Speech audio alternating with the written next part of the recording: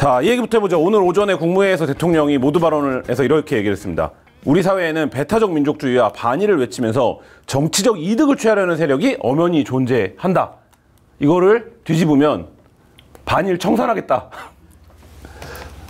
어떻게 보십니까? 한평생 친일을 외치며 사익을 추구해온 김민하 평론가 보시기에. 아, 근데 배타적 민족주의 청산 이런 거는 우리 좌파들이 하는 하던 얘긴데 네. 왜 갑자기 거기서 그러시지? 네, 아무튼 배타적 민족주의 청산은 좋은데 네. 지금 뭐 어, 이 한일 정상회담의 성과에 대해서 여러모로 이제 문제 제기를 하고 이 정부의 대일 정책에 대해서 여러모로 우려를 표하는 그 목소리가 그거 그런 류의 하나만 있는 거냐 그렇지가 않거든요. 오히려 이 이른바 이제 그 이 강제동원 배상 판결 문제에 대해서 제3자 변제라든지 이런 해법도 이 불가피한 것이 있다라고 생각하는 사람들조차도 이렇게는 아니다. 이런 방식은 아니다라고 지금 지적을 하고 있는 거예요. 그러면 그런 목소리에 대해서 진지하게 설명을 하든지 설득을 하든지 이래야 되는데 그 어디 극단적인 극단적인 곳에 있는 사람을 상정해서 그 사람을 손가락질하면서 저런 사람들이 있으니까 내가 옳다 이렇게만 얘기를 하는 거잖아요. 그런 점에서는 대통령이 지금의 상황에 대해서 진지하게 설명하고 있지 않다 이런 생각이 듭니다. 김실 평론가 어떻게 보십니까? 오늘 대통령의 국무회의 모두 발언. 배타적 민족주의는 이제 한국의 여러 문제인데 배타적 민족주의에 반일만 있나요? 반중 없습니까? 반중? 네, 반북도 있고 배타적인 내셔널리즘에 그런 문제들이 다 포괄되는 거고 그 다음에 어, 정치적 이익을 위해서 반일을 한 사람 이명박, 엄마, 내 얘기 하나. 독도에 방문해서 독도에. 당신네 당입니다. 당신네들 당이야. 예, 남의 당이 아니라 그 점도 같이 좀 어, 알아둬야 되는 거고 그리고 지금 여론조사에서 강제동원 해법에 대해서 반대가 지금 뭐 55, 60 이 정도 나오잖아요. 굉장히 이 민주당 지지율보다 훨씬 큽니다. 이 반대율이. 이거 누가 만들어줬어요? 이 반대를. 예, 본인이 만들어줬거든요. 본인이 그걸 조성하고 있어 요 열심히. 자, 예? 그리고 무슨 이 국민의힘도 무슨 말만 꺼내면 자꾸 무슨 뭐뭐 반일 죽창가를 그만 선동해라 자꾸 이러는데 우리 저 이 한겨레에 얼마 전에 인터뷰를 한그 서울대 일본 연구소의 뭐 나- 남기정. 네, 남기정 교수의 인터뷰가 있어요. 네. 그걸 읽으면은 그분이 이렇게 얘기를 합니다.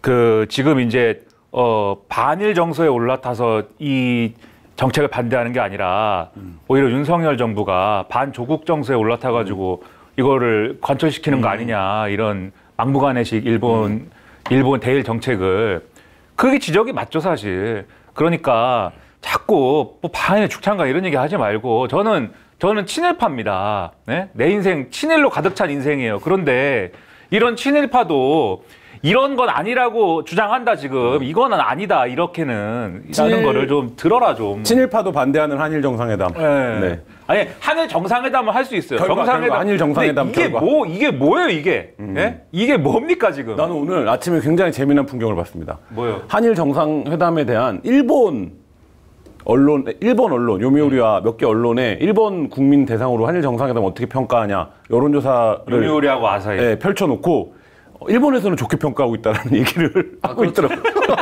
기시다 후미오 총리 지지율이 네. 40%를 넘어가고 네. 윤석열 대통령은 40선이 무너졌죠. 대한해협 크로스. 아. 네, 골든 크로스도 아니고 대한해협 크로스가 이루어졌어요. 지금. 그리고 뭔가 정서의 차이가 있는 게 우리 또 이 모든 일에 하여튼 그 원흉이라고 할 수 있는 김태호 씨 있지 않습니까? 네. 국가안보실 1차장. 이 김태호 씨가 YTN 등에 나와서 이렇게 얘기했어요. 아, 우리가 이런 안을 갖고 갔더니 일본이 깜짝 놀랬다.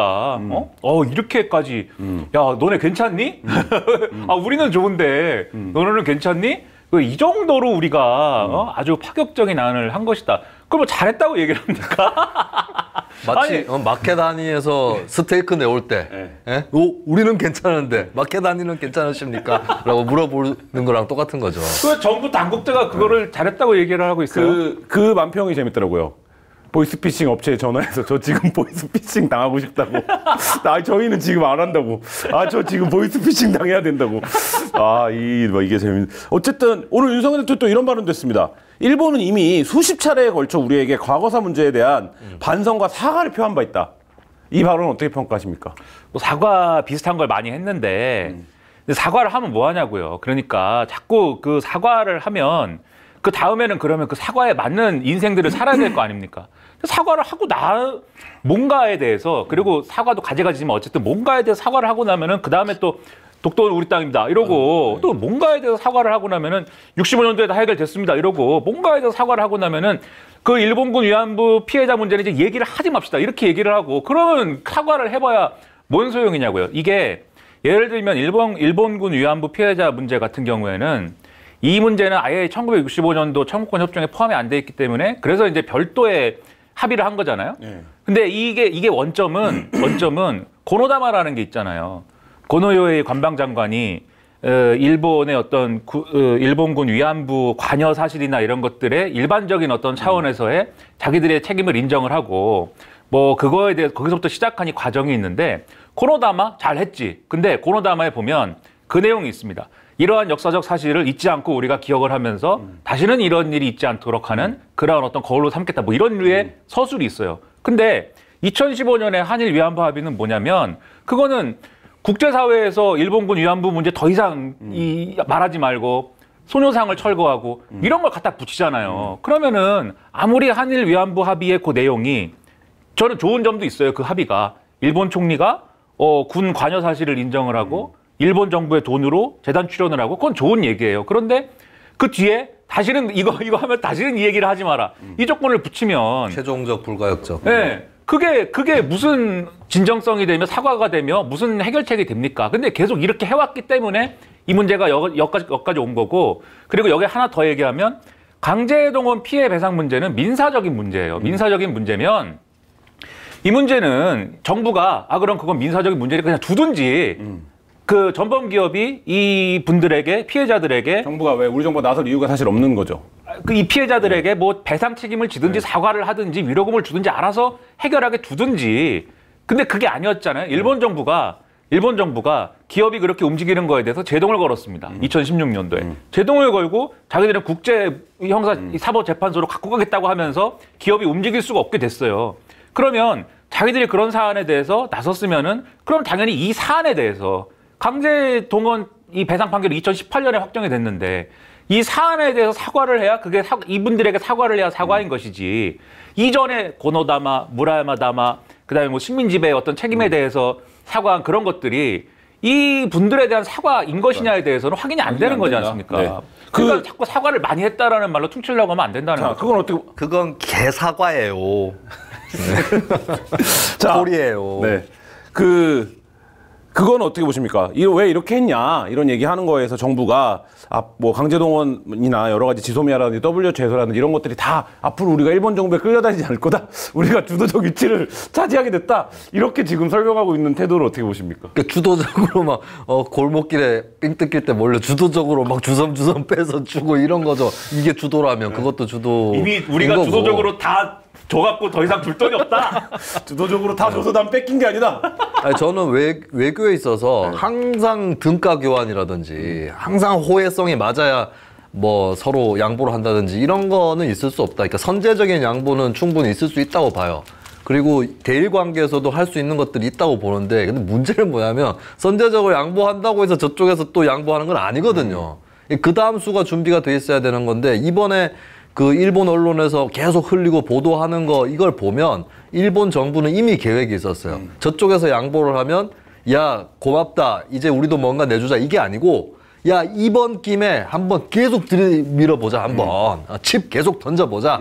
예, 어디까지 받아줄 수 있는지 한번 보자 이걸로 준비가 돼 있었던 거예요. 자, 그 대목 얘기를 좀 해보죠. 지금 일본 언론들은 교도동시는 독도 문제 위안부 합의 이행뿐만 아니라 독도 문제 거론했다라고 보도를 했고 지금 산케이 신문도 어, 후쿠시마 수산물 수입 규제 철폐랑 어, 위안부 합의 이행을 요구했다라고 보도를 했는데 대통령실은 아니다. 위안부 문제에서는 약간 노코멘트이긴 합니다. 그러니까 NCND고 독도는 아니다 이런 반응이고 일본 언론한테 유감을 표했는데 두 분이 보시기에 뭐 일본 언론도 보이잖아요. 그러면 이 얘기가 의제로 있었던 겁니까 없었던 겁니까? 일단 김세평론부터. 공식 의제까지는 아니었지 않았을까라고 봅니다. 일단은 말하는 의제는 뭐 강제 동원하고 수출 규제 네, 그리고 안보 협력 요 정도가 이제 공식 의제였던 것 같고 근데 정상회담이라는 게 뭐 어, 다음 순서는 뭘 상정합니다 땅땅땅 치고 올리는 거 아니지 않습니까? 거기서 입 털어가지고 꺼내버리면 이제 그건 또 화제거리가 되는 거. 그러니까 의제라고 하기에는 좀 부족할 수 있는데 화제로 기시다 총리가 올렸을 가능성이 있고 그리고 이, 이 일본의 극우라든지 이쪽은 고마워할 줄 모릅니다. 심지어는 기시다 총리가 예전에 김대중 오부치 선언 뭐 역대 내각의 인식을 계승한다라고 얘기한 것도 불만인 사람들이 있어요. 그러면 그것도 사과 아니야? 이게 또 일본에 더한 사람들의 입장인데 그런 것들을 이제 기시다 총리는 권력 기반이 그렇게 강하지도 않고 하기 때문에 얘기는 또 해야 되는 거죠. 예, 그래가지고 야 내가 그래도 독도나 위안부 얘기했다. 이, 이렇게 얘기할 건덕지는 또 필요하고 그러니까 뭐 무례하다면 무례한 건데 집어넣은 거죠. 집어넣은 거고 제 생각에는 이제 윤 대통령 쪽에서는 뭐 거기다 대고 대거리 하기도 그렇고 뭐 그냥 듣고만 있기도 그렇고 해서 그냥 일단 단어만 듣고 넘긴 게 아닐까. 예, 근데 얘기가 나오긴 나온 것 같다 확실히 이렇게 나오는 걸 반영한 거는 어떻게 보십니까? 일단 대통령실의 설명대로 공식적인 어떤 회견 자리는 아니었을 것이다. 근데 그 회담 자리는 아니었을 것이다. 근데 그러면은 그게 회담이라는 게 소인수 회담, 그다음에 뭐 이런 확대 회담 이런 게 이런 걸 거치는 게 이제 공식 회담 자리잖아요. 네. 그 자리에서 의제는 아니었는데 밥 먹으면서 한 거죠. 밥을 두 번 먹었잖아요. 네. 첫 번째는 이제 그 스키야키 네. 고급 스키야키 집에서 아주 어, 이렇게 되게, 되게 미소가 번지네요. 네. 스키야키라는 야, 단어만 고기 고기 소고기에다가 야채에다가 이렇게 해가지고 네. 이렇게 한 다음에 계란 노른자에 찍어 먹는. 네, 이렇게 이렇게 한 다음에 최순실 씨가 청와대 갔을 때 그렇게 즐겨 먹었다고 합니다. 야. 스키야키를. 마지막에 우동을 탁 해가지고 우동을 확 이렇게 해가지고 우동 먹고 그때는 이제 어, 부부 동반 예? 이른바. 그러니까 그 자리에서까지 그런 얘기 하기 어려웠을 거고 그 얘기를 그럼 어디서 했을 거냐. 그 다음에 이제 이거 먹었으면 그 거기 보면은 테이블에 또 이 일본 술이 또 대자가 하나 있습니다. 예. 보통 이 일본 술 그렇게 한 병을 그렇게 갖다 놓나? 네, 그런 건 아닌 것 같은데 아무튼 대자로 하나 있어요 또. 그거를 뭐 어쨌는지 모르겠지만 철저한 의전을 받았다고 하니까 대통령이 뭐 좋아하는지 아는 거죠. 왜, 왜 하고 그 정도의 국빈 방문이죠. 대자가 네. 있어요, 국빈 그다음에 방문. 야 저기 저 2차 갑시다 그러면은. 이렇게 해가지고 딱 일어나가지고 그거 뭐 250m가 걸어가가지고 그 렌가테이 예, 오므라이스. 예, 분명히 아까 소고기 먹고 야채 먹고 거기에 우동까지 다 이렇게 해요. 그리고 그 집에 나온 음식 재료를 보잖아요? 코스로 나왔어요. 거기 왜냐면 유명한 쇠고기를 쓰는 샤브샤브 집이기 때문에 그 쇠고기를 이용한 전채 요리나 뭐 이런 게 쭉 있었을 거예요. 처음에 사진 보면 그 전채가 있어요. 그러니까 코스야 이게 무슨. 네. 그걸 다 먹고 오므라이스 집. 그래서 오므라이스 집에 가서는 한국 사람들은 밥은 먹어야죠. 또. 밥배 따로 있다. 밥배 따로 있다. 오므라이스 집에서는 둘이 만났어요. 네. 부부 동반도 아니었어요. 네. 그때 김건희 여사는 뭐 화과자 만들기 하러 갔어요. 그 둘이 뭐, 뭐 만들러 갔다. 화과자 만들기 뭐 아, 이런 거. 화과자. 뭐 화과자를 만들었는지 뭐 네. 뭘 했는지 아무튼 그거 따로 갔고 둘이 만났어. 둘이. 음. 그러면 이 자리에는 통역하고 기시다 윤석열 대통령 둘이서 한 거예요. 음. 이 자리에서 무슨 얘기를 해 어떻게 했는지를 누가 어떻게 알겠습니까? 음. 제가 제가 제 느낌에는 김태호, 박진도 모른다 무슨 얘기 했는지. 아. 그러면 이 자리에서 무슨 얘기는 오갔는데 근데 일본 언론들의 보도를 쭉 종합을 해보잖아요. 그럼 대략 뭘 얘기했는지는 그림이 나오는 것 같아요. 일단 마케다인 전 제품 배송비 무료니까요. 회원 가입하고 로그인하셔서 어, 혜택을 받으시기 바랍니다. 이 자리에서 무슨 얘기는 오갔는데 근데 일본 언론들의 보도를 쭉 종합을 해보잖아요. 그럼 대략 뭘 얘기했는지는 그림이 나오는 것 같아요. 일단 NHK는 뭐 우리가 좀 민감하게 생각하는 위안부 합의의 이행을 요구했고 그다음에 독도 문제에 대한 자신들의 주장을 전달했다. 이렇게 보도를 했고 교도통신은 그걸 좀 구체적으로 이게 한일 위안부 합의 이행 문제는 얘기를 했는데 독도는 포괄적으로 여기 이게 뭐 내가 포괄적으로 얘기했는데 여기에 독도도 들어가는 거야. 라는 일본 정부 관계자의 발언을 보도했어요. 그리고 이 일본 정부 관계자는 아마도 관방 부장관일 거예요. 그 아무튼 요 발언을 보도했고 그다음에 제가 가장 이게 신뢰성 있다고 생각하는 게 산케이 신문입니다. 네. 왜냐하면 산케이 신문은 지금 기시다 후미오 총리가 이 정상회담을 한 게 마음에 안 들어요. 어, 우리는 잘못한 게 없는데 네, 자꾸 예, 기시다가 가서 고개를 숙이고 엄연히 모든 걸 한국이 잘못했는데 이거를 뭐 애매하게 지금 묻으려고 한다. 왜냐하면 상케이는 그부니까 그부 신문이니까. 네. 상케이가 기사를 쓴 걸 보면은 이렇게 돼 있어요. 세 개를 얘기했다 기시다 후미오가. 첫째, 이 한일 위안부 합의를 이행해라. 합의 이행, 예, 위안부 합의 이행. 둘째, 이 후쿠시마 이 농산 이 농수산물 수입 규제하는 거에 대해서 이걸 철회해라. 네. 그다음에 셋째, 어, 그 2018년에 우리 해군 구축함하고 네. 일본 초계기하고 이 동해상에서 만나가지고 초계기가 계속 그 신경 쓰이게 해가지고 어, 한국 해군이 열받았던 적이 있어요. 네. 근데 초계기가 막 이러더니 가서는 야, 저 한국 함정이 구축함이 레이더를 조사했다. 그러니까는 이게 미, 이 공격할 때 대공포 쏠 때나 쓰는 레이더인데 그걸 우리한테 조사했어. 그러니까 우리를 공격하려고 한 거야. 하, 자위대가 막 화가 나가지고 어, 한번 붙어볼래? 막 이러는데 한국 해군은 그런 적이 없다는 입장이거든요. 근데 일본은 그런 적이 있어인 거죠. 우리는 그런 적이 없어. 거짓말하지 마 이거고. 너네 또 이거 괜히 싸움 만들어 가지고 또 분쟁 지역 하려고 그래? 뭐 이런 거잖아요. 근데 거기에 대해서 니네가 한 적 있다는 거를 인정해라. 요거를 얘기했다. 요 세 개를 얘기했고 나머지 상케이가 너는 이걸 얘기했어야 돼 기시다야 라고 하는 두 개 주제가 있는데 그게 독도 문제하고 사도광산 유네스코 등재 문제입니다. 이거 너네 반대하지 마. 이거를 얘기했었어야 되는데 그 얘기는 안 했다? 넌 그거 얘기 안 했어. 이거고 기시다 후미오 총리 내 사람들은 아니야 난 독도를 얘기했어. 난 독도를 얘기를 했다. 그러니까 니네 말이 틀렸다. 이러고 얘기를 이러고 있는 거예요. 그러면 제가 볼 때는 아 독도 얘기는 뭔가 애매하게 했다. 애매하게 했다. 음. 했더라도 뭔가 아사무사 이게 뭐가 애매하게 했고 나머지 세 개는 얘기를 했다. 자, 그러면 일본 언론들이 전하는 윤석열 대통령은 무슨 얘기를 했답니까?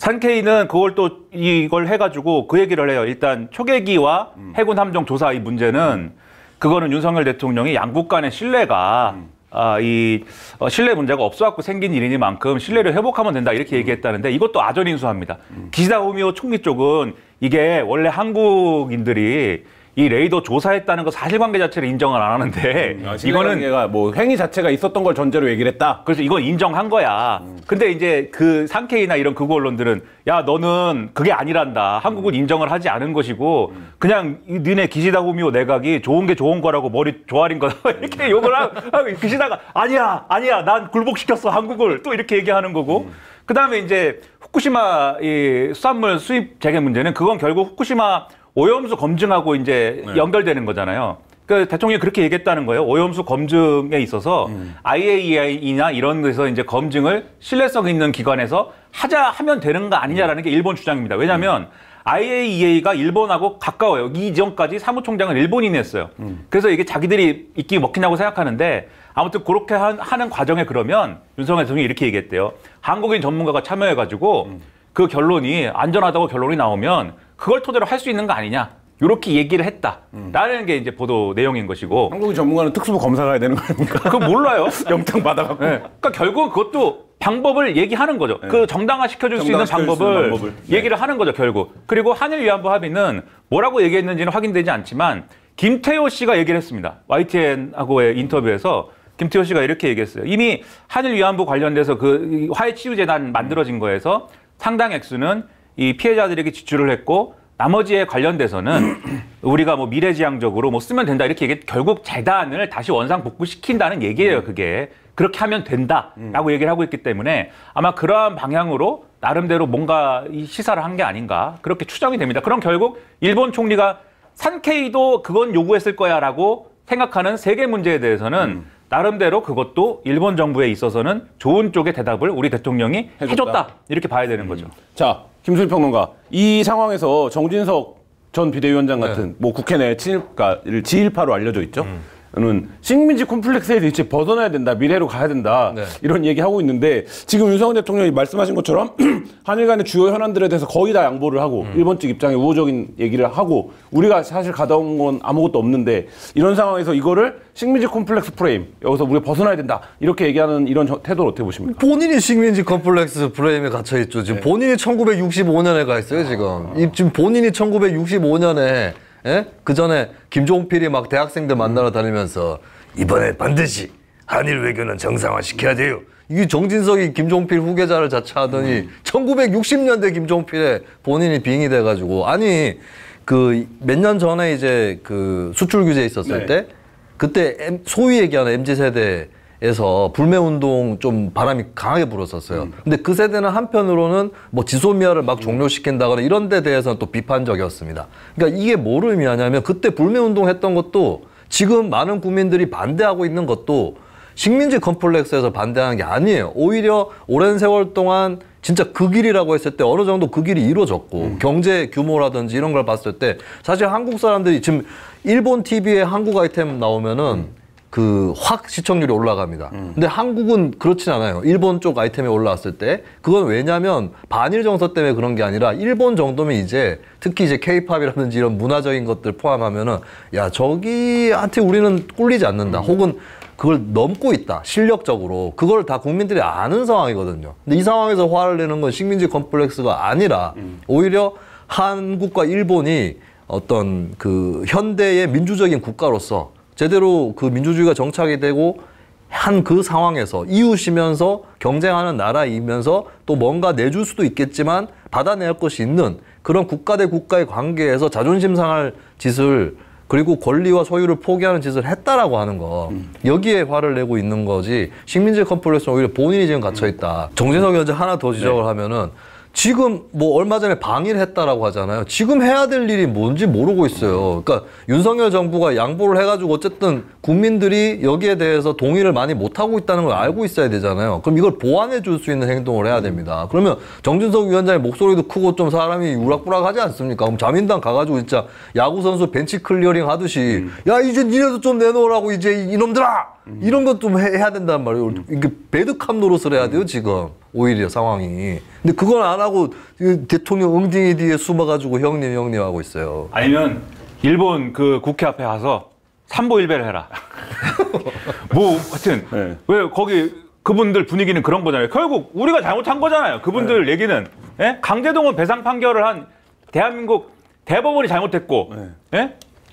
그 보수 언론이나 이런 거 읽어보면 다 그런 얘기예요. 대법원이 잘못했고 전 정권이 해법을 못 만든 전 정권이 잘못했고 저는 이 해법을 못 만든 거에 책임은 물론 전 정권에도 있다고 봐요 있지만 어쨌든 그건 또 아베 신조한테도 있어요 제가 볼 땐. 그 양쪽에 그런 것이 있었는데 아무튼 그 전 정권이 다 책임이고 나머지 그게 다 우리가 잘못했기 때문에 우리는 일본에 사과할 일만 있다. 뭐 이거잖아요 지금. 이거잖아요 얘기가. 그러면 가서 삼보일배를 하면서 사과의 의지 표명을 해라 당신이 정진석 위원장이 예. 아, 누구한테 삼보? 일, 예? 일본 일본국 국민들에게 죄송하다고. 예, 어, 저희가 아유, 진짜 우리. 대법원이 잘못했습니다. 예. 아, 잘못했다고. 아유 지난 정부가 잘못했습니다. 일보 네. 삼배로 해. 일보 삼배. 그리고 차라리. 예. 그리고 이거를 아 막 열이 오르려고 그러는데 그거를 그 결국 이렇게 많이 양보했으니까 그러니까 이 전문가들도 다 그 얘기를 합니다. 그러면 앞으로 뭔가 뭐 사실 미래적인 뭐가 있으면은 그래도 오늘의 양보가 조금 정당화 되겠지요. 이렇게 얘기하는데 일본이 양보를 할 수가 있는 거냐 지금? 그럴 수가 없는 게 앞서 말씀드렸듯이 극우 일본의 더 극우적인 이런 집단들이 기시다 후미오를 막 흔들어요 지금. 왜냐하면 기시다 후미오가 지지율이 지금 낮습니다. 물론 우리가 우리가 이렇게 해줘갖고 지지율이 한 5%가 올랐대. 네. 예, 지지율이 올랐대. 근데 아무튼 낮은 수준이고. 윤석열 대통령이 자기 주주를 땡겨다가 이것도 가십시오. 예. 아이고 나보다 오르셔가지고 좋으시겠습니다.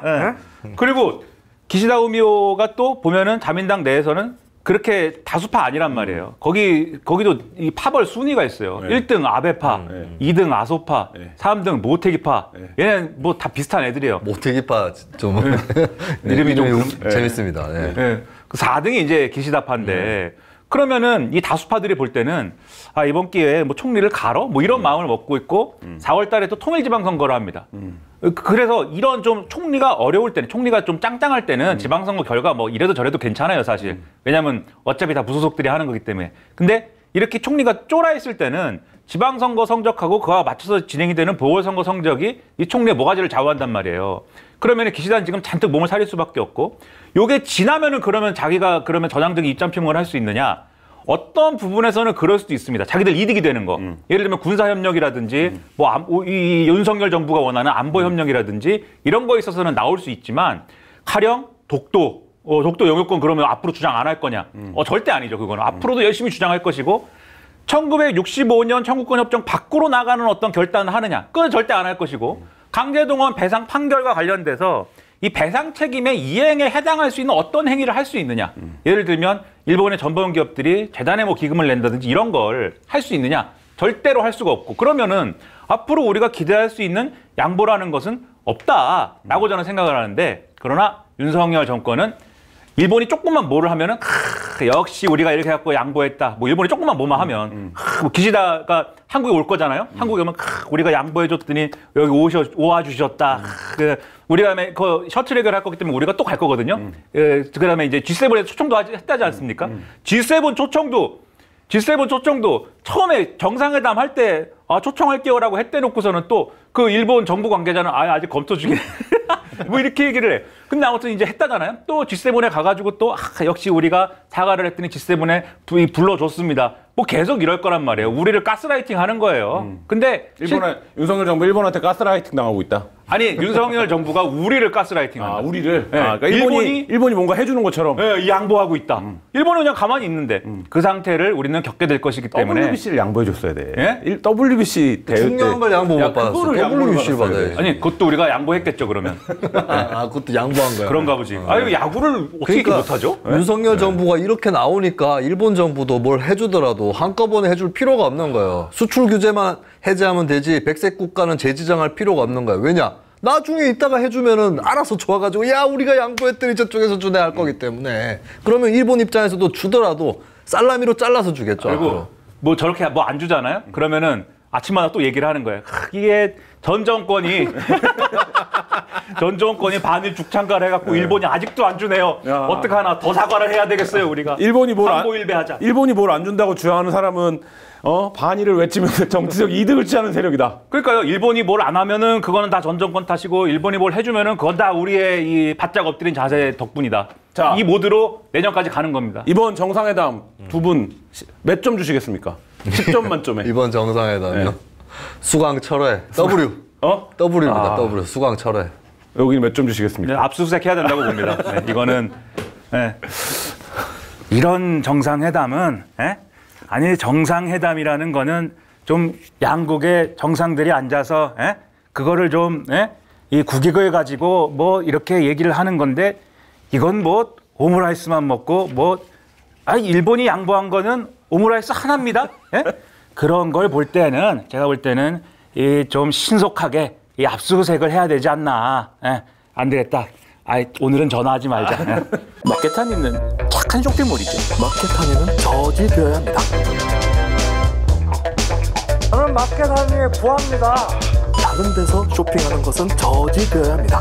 물건 물건 하면서 상품을 찾다가 보면 하루가 언제 다 가는지 모르겠습니다. 반드시 저지되어야 합니다.